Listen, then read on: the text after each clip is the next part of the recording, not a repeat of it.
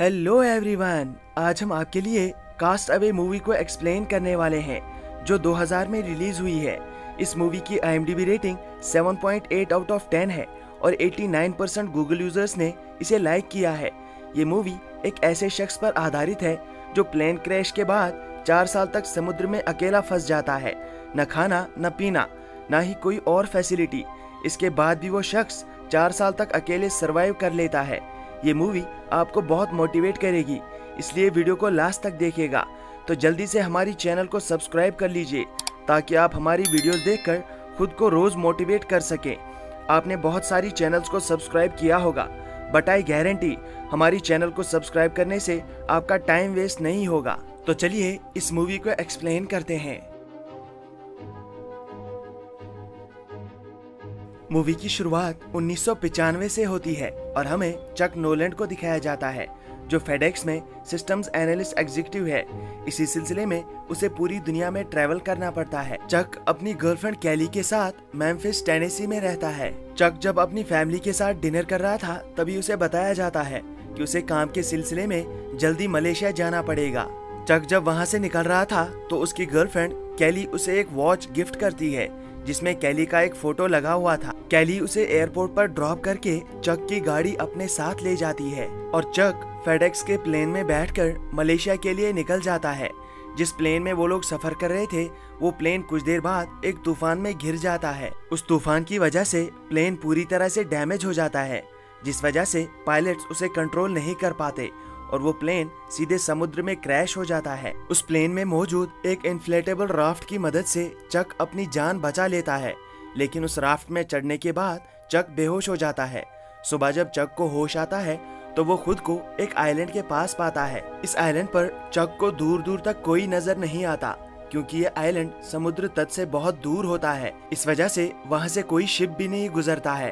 और चक को यहाँ पर मदद मिलना बहुत ही ज़्यादा मुश्किल होता है। चक को फेडेक्स का जो भी पैकेज मिलता है, वो उसे अपने पास जमा कर लेता है और वहाँ पर मदद ढूँढने की कोशिश करता है।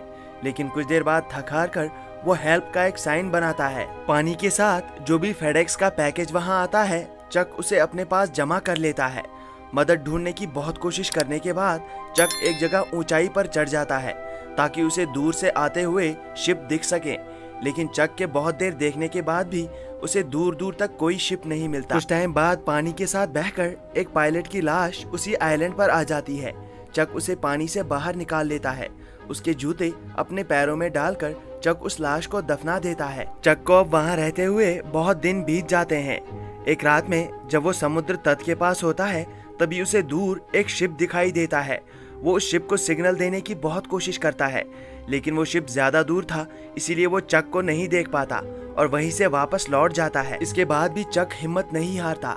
अगले दिन उसी इन्फ्लेटेबल राफ्ट की मदद से वो उस आइलैंड से निकलने की कोशिश करता है, लेकिन लहरें उसे थप्पड़ मार के फिर से वही तट पर पहुँचा देती है। उन लहरों की वजह से वो पानी में गिर जाता है और उसकी टांग जख्मी हो जाती है। उसकी टांग से बहुत खून निकल रहा था। इसीलिए चक उस पर कपड़ा बांधता है। अब चक को समझ आ जाता है कि यहाँ पर रहना बहुत ही ज़्यादा मुश्किल है। इसीलिए वो उन फेडेक्स के पैकेजेस को खोलने लगता है। एक पैकेज में उसे स्केटिंग शूज़ मिलते हैं, जिनके नीचे ब्लेड्स लगी हुई थी। उन शूज़ को वो बहुत सारी चीज़ों के लिए इस्तेमाल करता है। उन्हीं शूज़ से वो नारियल तोड़ता है और उन्हीं शूज़ से वो सारी चीज़ें भी काटता है। एक पैकेज पर उसे बटरफ्लाई का निशान बना हुआ मिलता है। उस पैकेट को वो नहीं खोलता। अब जक ने सारी प्रॉब्लम्स को सॉल्व कर लिया था। अब सिर्फ़ उसे आग जलाना बाकी था, जिसके लिए उसे बहुत मेहनत करनी पड़ती है। आग जलाते जलाते उसका हाथ जख्मी हो जाता है। उसके हाथ से खून निकल रहा था। तभी उसे पैकेज में एक बॉल मिलता है। उसी खून से सने हुए हाथ में वो उस बॉल को ले लेता है। उस बॉल पर भी खून लग जाता है। चक के पास कोई कम नहीं था, इसीलिए वो उस खून में एक चेहरा बना देता है और उस बॉल का नाम वो विल्सन रखता है। और उसी बॉल के साथ वो बातें करने लगता है। चक आग जलाने के लिए बहुत मेहनत करता है। बहुत देर तक कोशिश करते रहने के बाद चक आग जलाने में कामयाब हो जाता है और आग जलते ही चक की खुशी का कोई ठिकाना नहीं रहता। वो खुशी से झूम उठता है। अब चक ने सारी प्रॉब्लम्स को सॉल्व कर लिया था। अब उसे इस आइलैंड पर रहते रहते बहुत टाइम बीत जाता है। अब उसके लिए सिर्फ़ एक प्रॉब्लम थी कि उसे इस आइलैंड से बाहर निकलना था। इसके लिए वो सारी प्लानिंग करता है, लेकिन आइलैंड से बाहर नहीं निकल पाता। देखते देखते चार साल बीत जाते हैं। चक अभी भी इस आइलैंड पर ज़िंदा होता है। अभी भी उसने हिम्मत नहीं हारी थी। उसके बड़े बाल होते हैं और बहुत ही लंबी दाढ़ी होती है। वो अभी भी इस आइलैंड पर बहुत मुश्किल से सरवाइव कर रहा था। एक दिन चक को आइलैंड पर एक पोर्टेबल टॉयलेट का कुछ रैकेज मिलता है। उसे देखकर चक के दिमाग में एक आइडिया आता है। वो बहुत सारी लकड़ी को जमा करता है। उसके पास जो भी सामान मौजूद था उसकी मदद से वो एक राफ्ट बनाना स्टार्ट कर देता है। उस टॉयलेट रैकेज को वो सेल की तरह इस्तेमाल करता है। बहुत दिनों तक, दिन रात कड़ी मेहनत करने के बाद चक एक राफ्ट बनाने में कामयाब हो जाता है। लेकिन इतना टाइम गुजरने के बाद भी चक ने उस बटरफ्लाई सिंबल वाले पैकेज को अपने पास संभाल के रखा था। वो उसे भी राफ्ट में डाल देता है। और वहाँ पर एक बड़े पत्थर पर वो लिख देता है कि चक नोलैंड यहाँ पर 1500 दिनों तक ज़िंदा रहा है। अब मैं यहाँ से जा रहा हूँ। अगर मैं घर पहुँचा तो ठीक है, अगर नहीं पहुँचा तो कैली से कहना कि चक तुम्हें बहुत प्यार करता है। इसके बाद वो राफ्ट को समुद्र में डाल देता है और खुद उस पर बैठकर निकल जाता है। लहरें बहुत तेज चल रही थी, लेकिन चक की हिम्मत के सामने वो लहरें कुछ नहीं कर पा रही थी। चक हिम्मत नहीं हारता, उन लहरों का वो मुँह तोड़ जवाब देता है और कुछ देर बाद वो उन लहरों को पार करके शांत समुद्र में पहुँच जाता है। सफ़र करते हुए समुद्र में कच्ची मछलियाँ खाकर चक खुद को ज़िंदा रखता है। चक को अब समुद्र में चलते हुए बहुत दिन बीत जाते हैं।